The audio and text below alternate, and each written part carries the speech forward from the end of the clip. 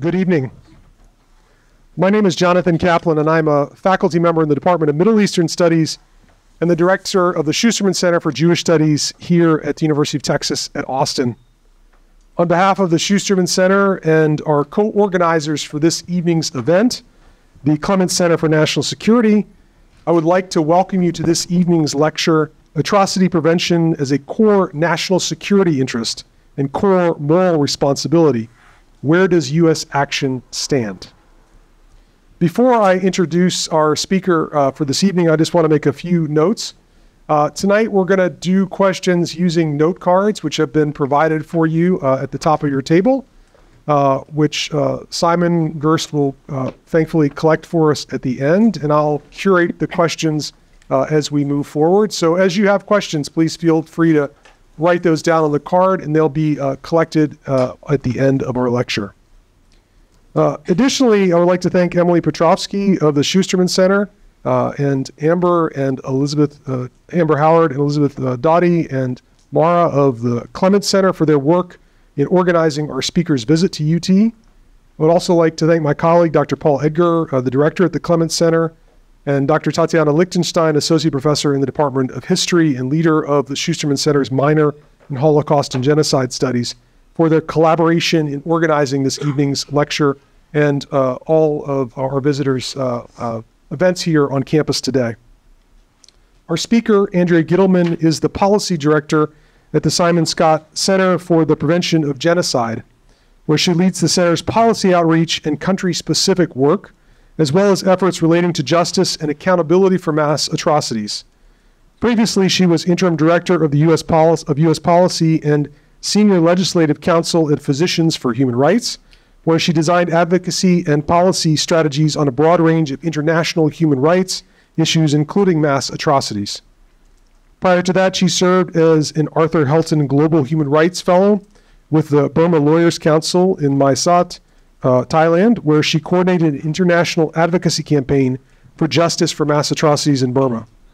Prior to attending law school, she served as a Peace Corps volunteer in Mauritania. She received a JD from NYU School of Law and a BA in Political Science and International Studies from the University of Chicago. Please join me in welcoming our speaker, Andrea Gittleman. Hello, and, and thank you all for being here tonight. It's a real honor to have been invited. Thank you to the Schusterman Center um, and for the Clements Center for inviting me. I've had a few conversations, including with some of you, and I've just been really impressed by um, the, the thoughtfulness of the students here and um, that issues like this, like atrocity prevention, which is difficult for anyone to talk about, that these are on our minds. And I'm really thankful that we're able to have these discussions today.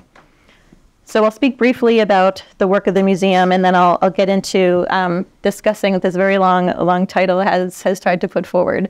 So thinking about these two rationales around atrocity prevention, that it, it is a um, national security interest and a core moral responsibility. And so I'll speak about those two in turn.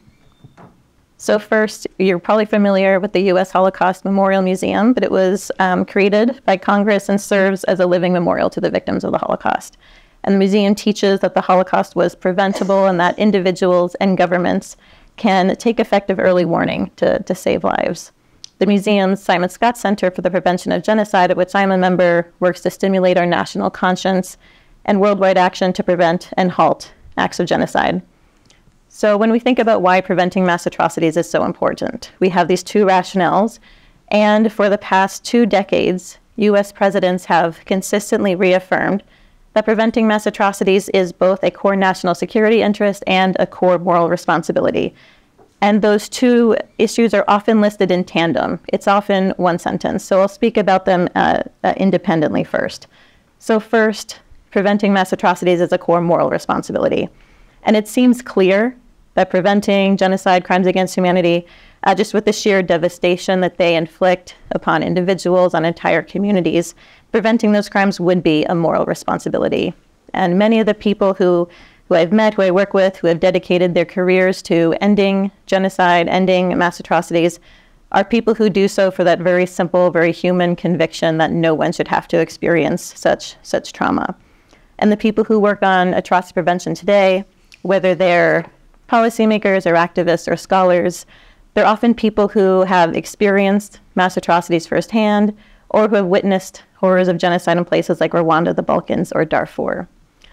And when we zoom out and think about what we as Americans would like our foreign policy to be, we often imagine a mindset that prioritizes peace and security for us and for others around the world. So preventing mass atrocities seems like something that great nations would, would prioritize.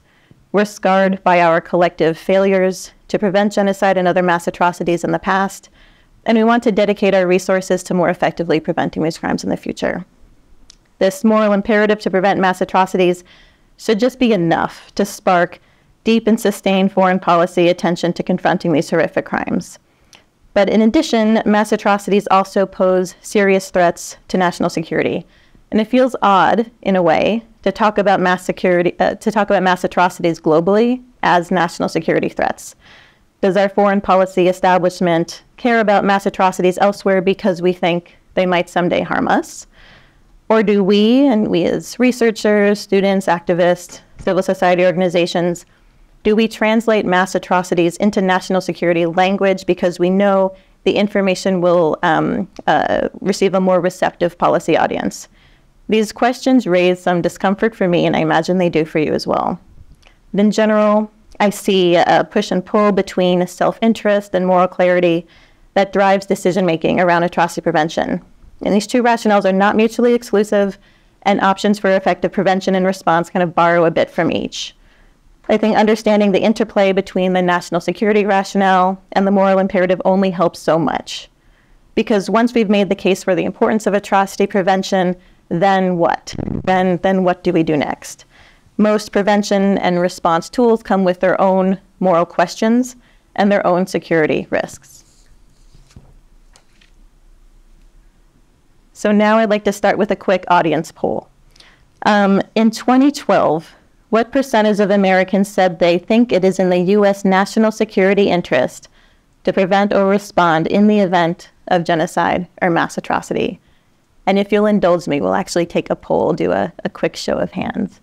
So is it 26%, 41%, 56, 71, or 87%? Again, this poll was in 2012. Who says it's A? Just a quick show of hands.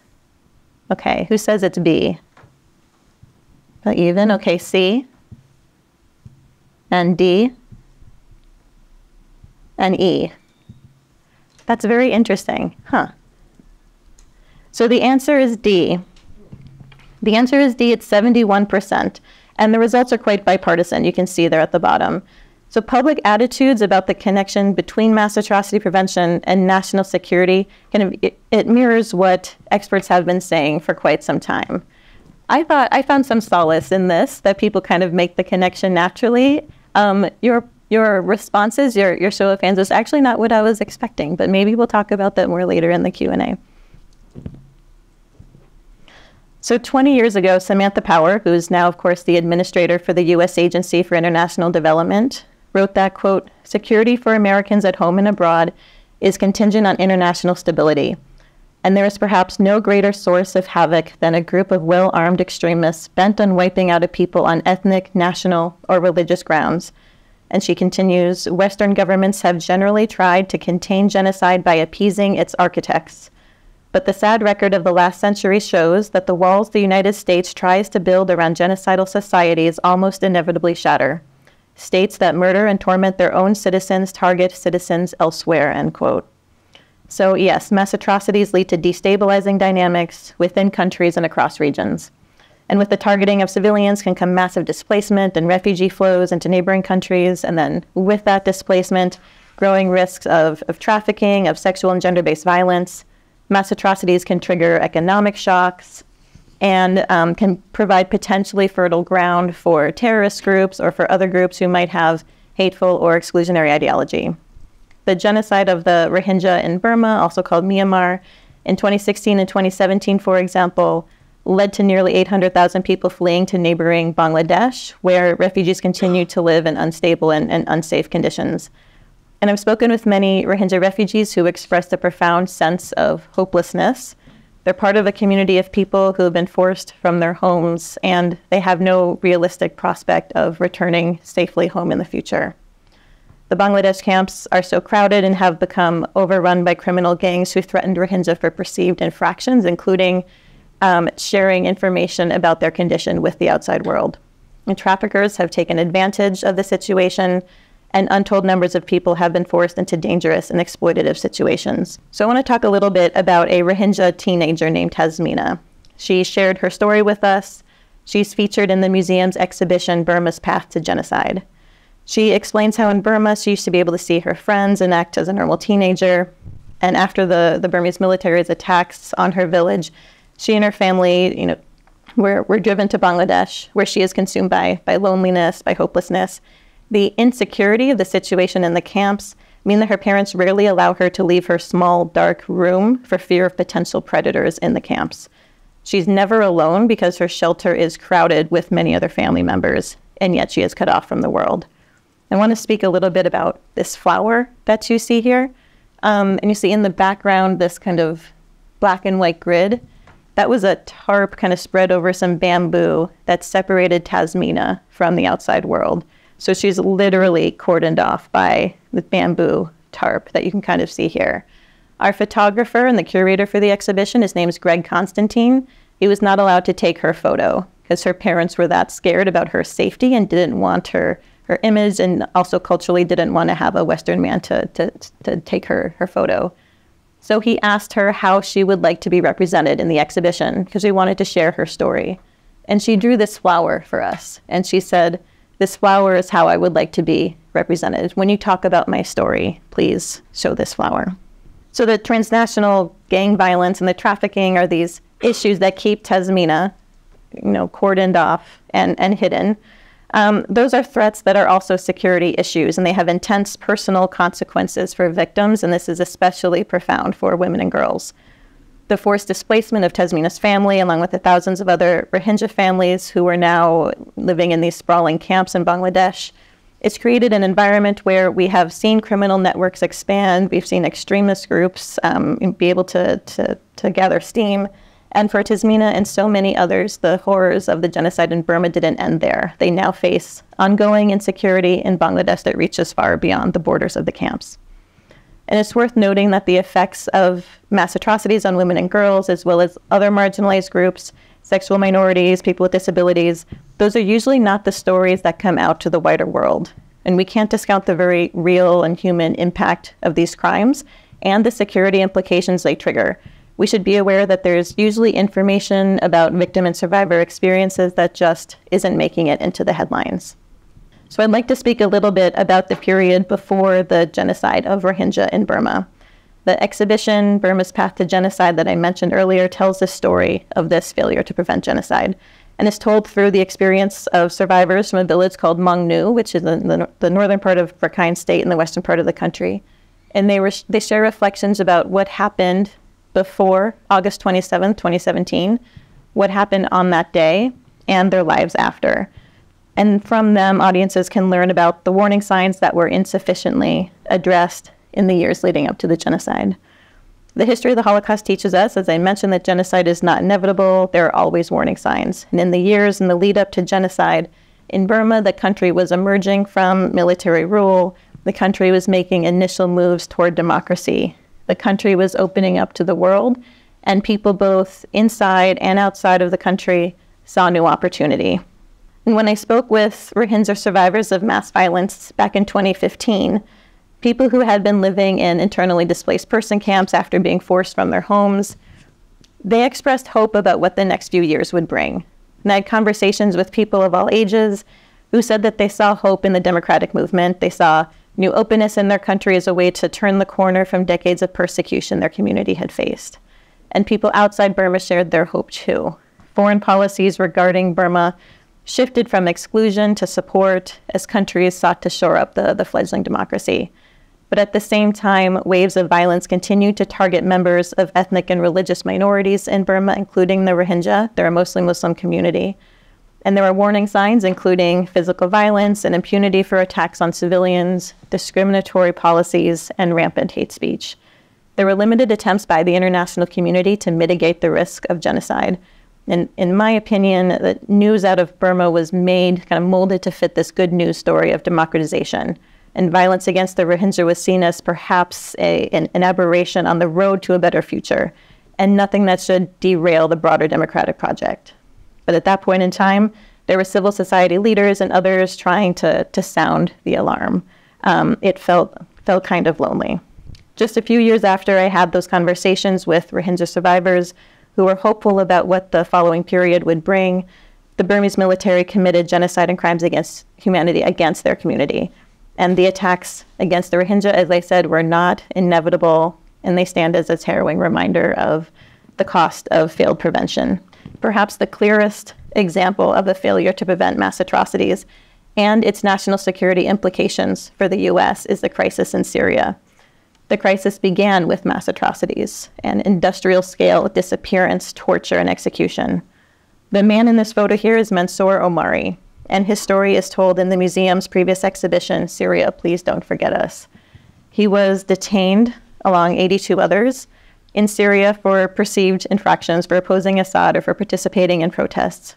And mass disappearance is a tactic, still is, of the Assad government, of the Syrian government, and it leaves those detained and their loved ones in anguish.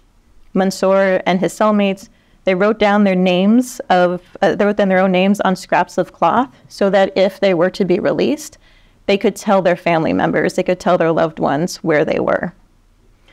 Um, they used rust and their own blood to write their own names on these five strips of cloth, which a tailor, cell, a, a tailor cellmate sewed into a coat. And then Mansour, this man here, wore that coat when he was released he shared the list of names with family members who were just desperate to know what happened to their loved ones. When he left his cell, his cellmates pleaded, Please don't forget us. What Mansour and his fellow detainees experienced was horrific, and crimes against them and other civilians in Syria were part of a wave of violence and instability that swept the region and posed serious threats to U.S. national security. The conflict in Syria devolved into one of the largest displacement crises since World War II, and the conflict destabilized the region, contributed to the rise of the, the so called the, the self proclaimed Islamic State and its targeting of religious minorities, including the genocide of the Yazidi population. As we know, the Islamic State became a serious national security threat as well. The massive refugee flows from Syria to Europe, for example, led to destabilizing anti immigrant sentiment there and also here in the US. As Tod Lindberg and Lee Feinstein wrote for the Simon Skjodt Center, quote, we must be wary of the assumption that a situation that begins with a dictator committing atrocities will solve itself rather than escalate into a first order security challenge. There is no more vivid illustration than Syria of how taking action to prevent genocide and mass atrocities is a core collective security interest of the transatlantic community. I'd like to speak briefly about a different mass atrocity case, the case of the Chinese government's attacks on Uyghurs and other Turkic Muslims in Xinjiang, China. The US government has determined that the Chinese Communist Party's actions against the Uyghur population constitute genocide and crimes against humanity. And after years of policies that sought to, to forcibly assimilate the Uyghur community, it gave way more recently to new and extreme levels of abuses. The CCP embarked on a massive campaign to disappear and detain Uyghurs, to separate Uyghur men and women, to target the reproductive capacity of Uyghur women, separate children from their families, and erase visible elements or representations of Uyghur culture. And all of that was supported by systems of intrusive mass surveillance. Many situations, not all, of genocide or crimes against humanity are marked by mass killing, but the perpetrators in this case are using different abuses to achieve their aims. And the nature of the crimes and also the nature of the perpetrator challenges standard policy responses. Many foreign policy experts understand the threats that the Chinese government poses to national security. Just as one example, the US intelligence community noted in its 2023 threat assessment that, quote, China has the capability to directly attempt to alter the rules based global order in every realm and across multiple regions. China's crimes threaten millions of Uyghurs, and if they threaten US national, national security.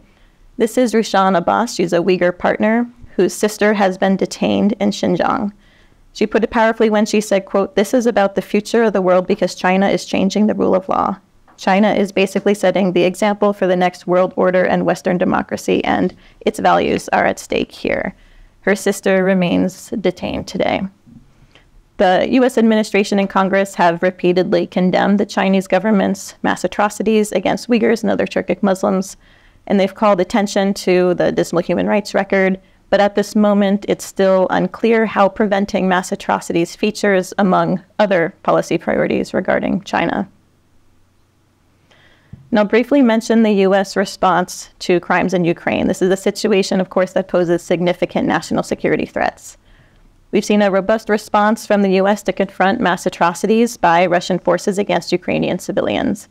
In addition to extensive military assistance, the U.S. has sanctioned and applied visa bans on Russian officials, launched projects to document mass atrocities, and has dedicated um, uh, support to law enforcement and prosecutors within Ukraine to facilitate investigation and prosecution of crimes against civilians. U.S. leaders have publicly stressed the importance of confronting the horrors of this conflict and to ensuring that those responsible will be held accountable. The case of Ukraine to me shows what is possible in terms of a response. Obviously, not all tools will be appropriate for all situations. Um, I think it's worth remembering that places like Cameroon, or South Sudan, where civilians continue to face mass atrocities, should be priorities for atrocity prevention and response as well. For example, the government of Cameroon's attacks on Anglophone civilians, they threaten U.S. national security interests too, but perhaps not as directly as what we see here. In addition to displacement and economic crisis and violent extremism that emerge from mass atrocity situations, these crimes shake the norms that underpin all of our communities and shake how we believe communities should be protected. If not effectively prevented, mass atrocities chip away at our common humanity. So, what more do we need to do? When we look at the trajectory of U.S. foreign policy over the last two decades, there is a lot of progress. The Holocaust Museum, alongside the U.S. Institute of Peace and the American Academy of Diplomacy, launched the Genocide Prevention Task Force. It was chaired by Madeleine Albright and William Cohen. Its final report was published in 2008. It issued many recommendations, including having a standing interagency mechanism to assess mass atrocity risks and a government wide policy on genocide and atrocity prevention. And in terms of government process, a lot has improved since then. Today, there's now this dedicated interagency task force where officials from across the US government tackle early warning signs and coordinate effective responses. And the US is part of this global group of countries to coordinate information they're getting and to coordinate on, on response efforts. The Elie Wiesel Genocide and Atrocities Prevention Act, which became law in 2019, requires, among other things, training for foreign service officers on atrocity prevention. And the 2022 state in 2022, the State Department released its first ever U.S. strategy to anticipate, prevent, and respond to atrocities. So we now have seasoned officials across the U.S. government whose roles are dedicated to preventing mass atrocities. And yet, there are crises around the world where civilians remain at risk of or are currently experiencing large scale attack. So, what more could the US government do? The US government can do more to close this gap between advances in government structure and policy and the impact on communities at risk. One area could be to invest more in improving early warning systems. This would include ensuring that U.S. officials who work in high risk areas are well trained in identifying the early warning signs of mass atrocities and that they're able to work closely with civil society in order to gather this information. They should understand the U.S. government's atrocity risk assessment framework and use it to guide their understanding of what risks civilians in a particular context may face. It's also important to strengthen clear channels for this information to be shared with others. The Atrocity Prevention Task Force, that interagency group that I mentioned, it coordinates an all of government approach to preventing mass atrocities, and that's helpful in moving all of these ideas forward. But also, government officials who do not sit on the task force but who are making policy decisions about high risk context should also be steered by early warning information and an understanding of atrocity prevention resources. Those officials would also need to be well versed in the tools for atrocity prevention, as well as what has worked, where, and when. As the Simon Skjodt Center detailed in a recent report, the administration can do a lot more to collect lessons from past mass atrocity cases in order to shape more effective responses in the future. And Congress can do a lot more to hold the administration to account, including by holding public hearings on how the administration is responding to early warning signals, how they are learning from past prevention efforts, how they're responding to demands from victims and survivors for justice. Congress can also dedicate more funding to specific atrocity prevention related lines of effort. And what more can the American people do? We can demand much more from our leaders. We can demand that preventing genocide and other mass atrocities be a key pillar of our foreign policy and not a side project. We can also demand that the resources, expertise, and tools on atrocity prevention within the US government can apply in the many contexts in which civilians are at risk of mass atrocities, and that our leaders learn from past experience in order to shape more effective policies in the future. The Genocide Prevention Task Force report from uh, 2008 that I mentioned, it also has a recommendation for the American people that we, quote, build a permanent constituency for the prevention of genocide and mass atrocities. And that was written four or five years following genocide in Darfur, a place that became a household term across the country because of dedicated efforts from the American public to call attention to genocide there. And a lot of those efforts from the Save Darfur movement from about 20 years ago came from young Americans, especially students. 20 years later, civilians across Sudan, and especially in Darfur, are again facing the risk of mass atrocities. And as the museum had noted earlier this year, civilians in Darfur face the risk of genocide yet again. And the crimes we're seeing now echo the brutality of the crimes 20 years ago. So, just to conclude briefly, both policymakers and the American public face this challenging moment. Civilians across the world face mass atrocities. Survivors continue to struggle to have their voices heard and justice served. And information about early warning of mass atrocities is not always fully appreciated, and some of the tools for atrocity prevention remain insufficiently resourced and understood, and none of that is good. We have a long way to go to meet the needs of so many around the world who face the threat of genocide or, or of crimes against humanity. And we have seen progress in terms of building the infrastructure within the US government to anticipate and respond appropriately to mass atrocities, and that is important. There's now this community of dedicated professionals within our government who have the training and structure to promote effective atrocity prevention policy. There's more to do, yes, but we've come a long way. And I'd like to end on a note of hope. Um, in this job, I've had the immense honor of working alongside survivors of mass atrocities. I recently spoke with a friend and a colleague. She's a human rights activist in Burma. And she and so many young women across the country are not giving up on democracy and human rights for the people of Burma. And despite the horrors that she and her community have faced and continue to face, she is redoubling her efforts to galvanize young people in Burma to work towards a better future. She's working to strengthen community level responses to violence and to promote accountability to make sure local officials are responsive to the needs of the people. That's a tall order. She hasn't given up, so neither can we. I'm going to end there, and I look forward to taking some questions. I had one uh, to start off while we're, we're uh, collecting questions that folks have and it relates to kind of uh, you know I was one of the people that raised my hand at I think it was 21 percent uh, of support. Mm-hmm. It, it, it, and it struck me um, that part of that, from my perspective, was not that people think the U.S. shouldn't intervene, but that the U.S. Uh, there's a lack of, of interest in supporting intervention uh, or the things that need to be done ahead of time so that we don't get to the stage of genocide. Mm-hmm. Uh, and, and I think you alluded to that a bit in the end uh, of, of, of, your lecture. And I was wondering if you could elaborate more on, uh, on why you think there's the disjunction between really we should 73, 74% of Democrats and Republicans, less for independents, think we should support intervention in genocide moments, but much less think we should be doing the kind of groundwork stuff that would help us not get to that moment of mm-hmm. needing to intervene. Sure. And, and if you could sure. elaborate on that, that'd be great. Sure. I think um, probably what you saw in that poll reflects a lot of how governments operate when there are so many crises all the time. And so you're trying to address country X, and then something else happens somewhere else, and you turn from crisis to crisis. And it's hard to take that entire machine and say, that's important. But in addition to all your work there, also take a step back and look at places where there's no mass killing or mass atrocities now, but where the situation might get worse down the road a couple years from now. That requires a real shift of focus. Um, and that can be hard to do. A lot of the people working on these issues in government have uh, big portfolios, are trying to do many things. They might not have a lot of time or extra resources. So it takes a lot. You know, a lot of the the um, progress that I mentioned is about making sure there are dedicated people, dedicated conversations that look more upstream.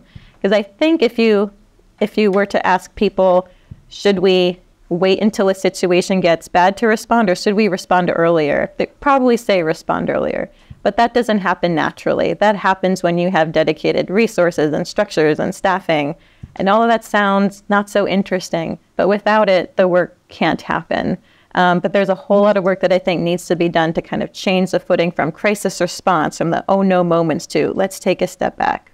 What are we watching here? Everyone, you know, foreign service officers all over the world at various embassies, they should all be looking at this, you know, over time. They become experts in, in their country. They should know what are some worrying signs that I've seen develop over the past year, over the past two years? What should we do with this information? What are some things that we could watch? And I think having that kind of framing um, can really, really help and for maybe get us off of this, you know, crisis to crisis footing.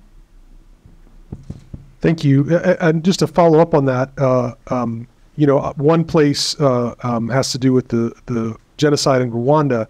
Uh, and the current genocide in, in the Congo, one questioner asks, is related to the aftermath of the Rwandan genocide. And what can the U.S. do after a genocide to make sure it doesn't lead to another? Yeah, that's a really good point. Um, one of the key indicators of future risk of mass killing is a previous mass killing in that country. So I think um, making sure that past um, uh, grievances are addressed in healthy, respectful, responsible, r- responsible ways is important to kind of stemming that that cycle. Because I think we've seen this in a, a, number of places. Rwanda, DRC is is one, um, but in a lot of places, you know, it's even after uh, official conflict ends, there's still incredible work that needs to be done on the prevention side and from others. So, thinking about the demands of, of victims, of survivors, um, we shouldn't then turn away like, oh, the, the war is over. There's a ceasefire. Let's look somewhere else. But let's let's go on to the next crisis. And it kind of, uh, you know, just um, bridges to what we're, we we're talking about a moment ago with shifting to this more upstream or prevention focused footing, but also not turning away, also remaining invested in how you know this marginalized community that has been attacked what is their situation now? And we need to keep watching and keep an eye out for some of those uh, potential you know warnings that perhaps violence could emerge again. That also takes a lot of work to kind of keep that that focus on.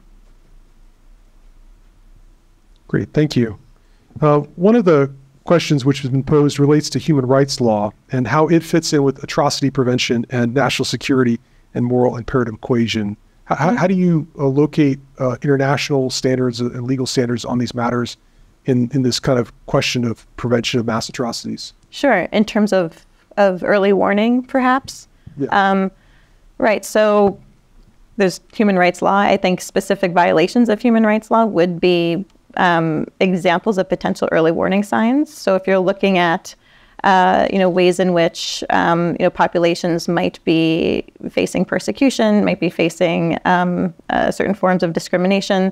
Those are signs to watch over time that could help inform prevention efforts.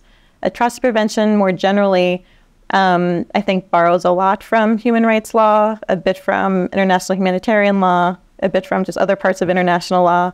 Um, but in the end, it's about enforcing norms around prevention and the the imperative of of preventing mass atrocities and for, for you know protecting civilians at risk. And I think that norm comes from a number of different areas of law. So, uh, uh, what uh, what book recommend, recommendations might you make uh, on understanding and preventing genocide and mass atrocities? Great, great question. Um, I would recommend the book Fundamentals of Genocide and Mass Atrocity Prevention. And from the title, you can probably guess what it's all about. Uh, but it's written by Professor Scott Straus. Uh, it's published by the museum. So maybe I'm a little bit biased, but it really does a good job of showing you know, what are some of the early warning signs, what are the, the moments of escalation, the triggers, the tools, um, how do we think about um, different responses. Uh, what should governments take into account when they're they're coming up with these strategies for prevention? So I'd highly recommend that book. It's available on the museum's website for free. Um, also, this this book, I think it's a helpful glimpse into the past. It's from 2008, which now seems like a really long time ago, but this predates just a lot of the kind of administrative, what I said is not very interesting, but is very important changes that have happened since then. So read this task force report and get a sense of at that moment when there was a stock taking of what needed to be done in terms of the U.S. government response to to mass atrocities you can see how far we've come and, and how there really still is is so much more to do. So I'd recommend that as well. Great, thank you. So one of the questions, uh, which I think one of our questioners is, is raising, is the question of po- politics into mass atrocity prevention. Mm-hmm. Obviously, uh, there are moments when uh, people who might be, for instance, China is uh, uh, an easy target for the U.S. to allay concern for because we're not necessarily allies with China. Uh, how do how do how does the U.S. negotiate, or how is it doing in terms of uh, addressing allies that it might have in parts of the world and concerns about atrocity or uh, um, mass casualty events, and yeah. how the U.S. negotiates that? Yeah, that's a really good point. Um, it's often easier to point out mass atrocities in certain contexts and not others. Yeah. Um, but there are, if you the our early warning project, we we look at at countries at high risk of, of future mass killing, and there are some U.S. allies on that list. India has been high on that list for since 2014, since we started the list, just as one example. And so when we think about you know atrocity prevention efforts and the reports that the administration sends to Congress about everything they're doing, they're talking about Ukraine and China and Afghanistan. Um, but I think it's maybe for all of us, for civil society and for the American public to say, what are you doing on, on South Sudan? No one's asking you about South Sudan, and they really should because the, the crimes there are extremely serious. What are you doing about India? You know, there are many um, policy priorities the U.S. has with India, but how does atrocity prevention feature among them? where, where is that in, in the ranking of, of our priorities? I think there can be, just as one example, a lot that we can do to press for um, a, a, more global approach to this, even when it's difficult. So one area that's uh, uh, been an area of, of, concern, obviously, late in the media is, is Israel's conflict in Gaza with Hamas. Uh, and there's been a, a, lot of use of terms related to atrocity prevention within that. And I would just, you're here, and certainly that's a topic.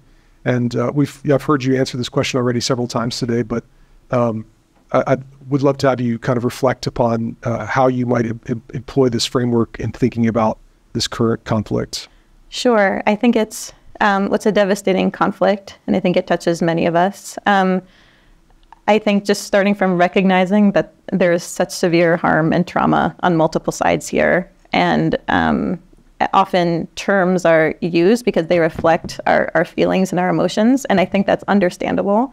Um, but what is important, I think, for the museum as an educational institution, um, think about genocide or crimes against humanity or war crimes, so they have specific definitions. Um, and for us, we don't work specifically on the conflict. We don't work on Israel and Palestine. But I think just understanding that people are um, uh, desperate for answers and want to see just the, the stop to, to civilian suffering um, and I think starting from a place of compassion and understanding makes sense. I also think looking at legal definitions in this case, but in so many others, is often an unhelpful question because there are many forms of human suffering that don't fit these exact definitions. Um, and so instead of using shorthand terms to express horror or um, uh, you know uh, concern about what is happening, I think recognizing just the very human element of what is happening and the legal definitions have a purpose and perhaps are not. Um, uh, that it, it just seems like a different a different question to, to answer here that might not be as helpful. Well, thank you so much, Andrea Gittleman, for that and for all of your wisdom tonight. Um, I don't think there are any more questions that have been handed in, uh, but we're deeply grateful for your time here, and please join me in thanking our speaker. Thank you.